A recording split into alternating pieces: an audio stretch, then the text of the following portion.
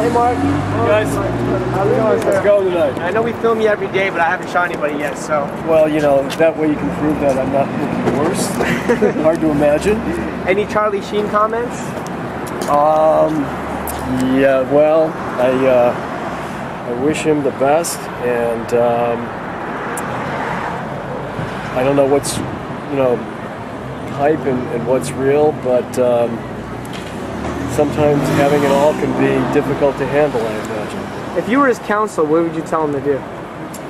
uh, to try being anonymous for a change. That would be good, and to um, assume that you can't. It's not that you can't trust who you tell to be discreet. Yes.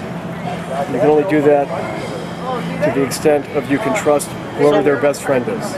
I don't think Charlie Sheen and anonymity go together. It's like a, what would you call it, an oxymoron maybe? Well, it's just like mutually exclusive concepts, as we I say guess in the so. law. But uh, you know, I, I- think he's a really, really talented actor, and I, I think he's a really good guy.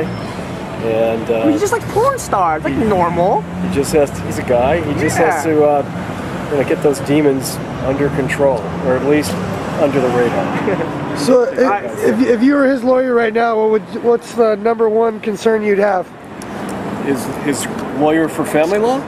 for just keeping his contracts and, and keeping everything in order with You all know, this uh, drama going people on? People seem to embrace Charlie. The, the more that he proves his image is not uh, a product of um, a PR machine, I would tell him that everybody everybody runs out of um, one more chance at some time, and you know he might be pushing that envelope a little bit. Okay, thank you, Mark. Enjoy your dinner.